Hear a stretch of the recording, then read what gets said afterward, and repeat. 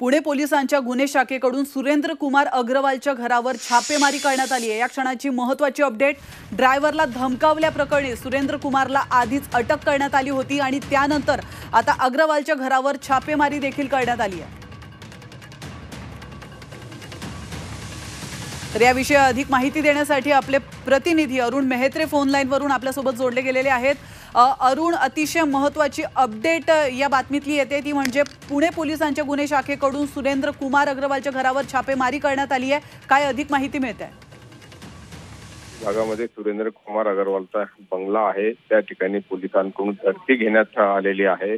पुणे पोलिसांचं गुन्हे शाखेचं पथक अगरवालच्या घरी पोहोचलं होतं.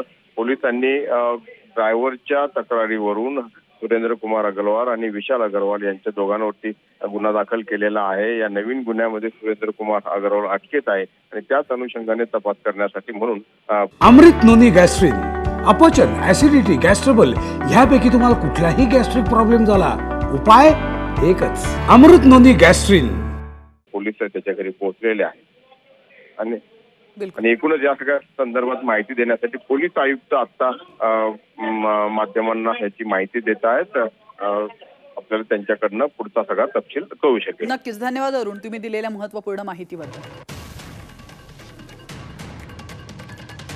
तर आपण पाहतोय पुणे पोलिसांच्या गुन्हे शाखेकडून सुरेंद्र कुमार अग्रवालच्या घरावर छापेमारी करण्यात आलेली आहे. सुरेंद्र कुमार हा पुणे अपघातातील आरोपीचा आजोबा आहे आणि त्याच्या घरावर आता छापेमारी करण्यात आली आहे.